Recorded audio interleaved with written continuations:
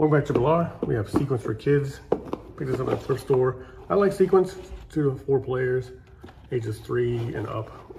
It's always funny when you put like a, a cap on the age.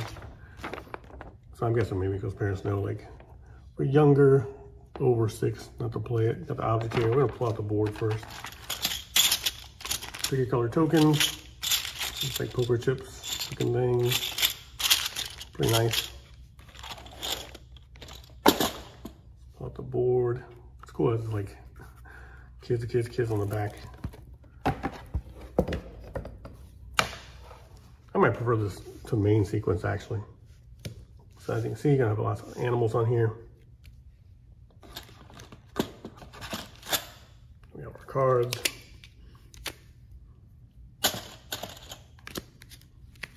Of course, match the animals.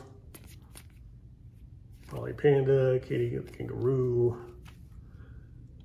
Jerry the giraffe, Willie the wolf, Sherman the shark, Zelda the zebra, Henry the hippopotamus, uh, Francine the fox, Trevor the tiger, uh, Dorothy the dragon, any chip, so special card. Ulysses the unicorn, special card, uh, special card, place your chip on any space. Alice the alligator, that Oogie? Ostrich,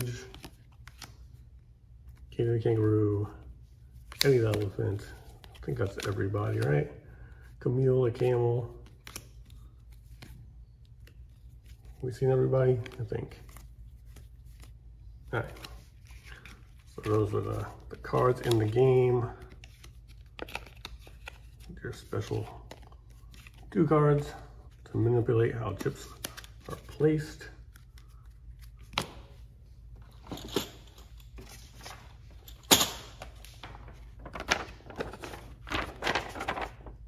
So it's really one page. One page of instructions. Do you want to be the first player to make a sequence of four chips in a row? I think regular sequence, maybe five. Uh, using their using only their only their own chips is the winner. So four chips in a row using only their own chips. Go blue, go blue.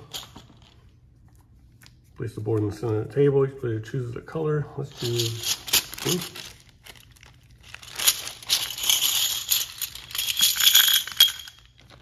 Chips here. Deals out three cards. Okay, three cards, one at a time. One, two, three. Do a second player here. All right, each player may look at his or her cards. The remaining cards are placed face down in a pile somewhere near the board for the draw deck. Let's put it right here. Beginning with the player to the left, the dealer moves in a clockwise direction. Player selects a card of their choice from their hand, places it face up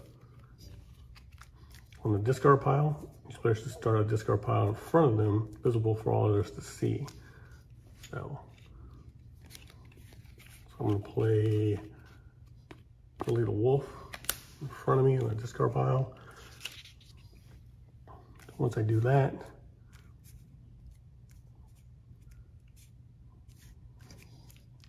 then places one of their chips on the matching card on the board. The player then must draw one card from the top of the draw deck, and that turn is over. You should always have three cards in your hand at the end of your turn. So I have two. So I played Willie the Wolf. It's my opponent's hand. Take a blue chip. All right, let's find Willie the Wolf here and here. So we're gonna place him here. I think that gives you one more option. I would draw a card.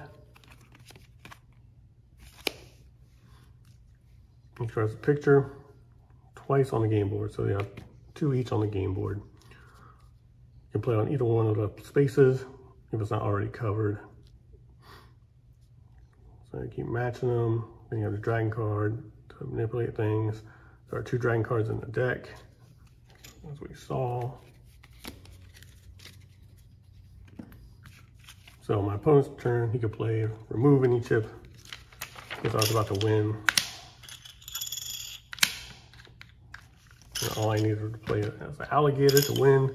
But Before that, he could remove maybe this chip. Goes back in my pile. And the opposite with the unicorn, if I'm here, I don't have the alligator. I can play this and win. So four in a row, you win the game. So pretty simple game, it's fun. Uh, there's free spaces here. So you act like a chip is already there, You're using these places for, you know, so only three of color chips are needed to complete the sequence. Than one player may use the same uh, corner as part of the sequence. No chips are placed in these spaces. So you can maybe get a race going here. So you have these two. Free space is yours, but they also could have their chips here. And then once you play your fourth, this one counts for your sequence. So likewise that way. I don't remember if there's can diagonal out. Yeah, I think you can diagonal as well. I think. Yep, or diagonally. So you can free space this three ways.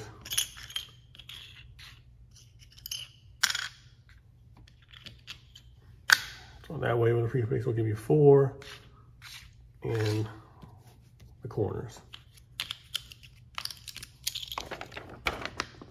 Oh, this is a fun game. I like it. No dice involved. It's just kind of draw. It's a little bit of luck when you're just drawing cards. And but you have some power up cards you can save for that right moment.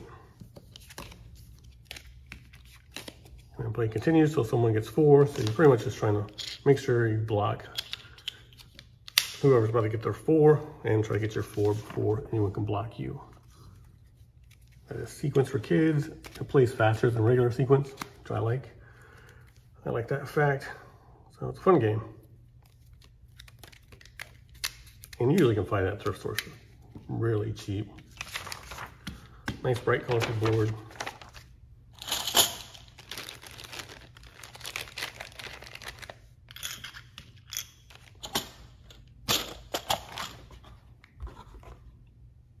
Thanks for watching Triple R. Have a good day or night, wherever you are. Smash that like button, hit subscribe. Thanks.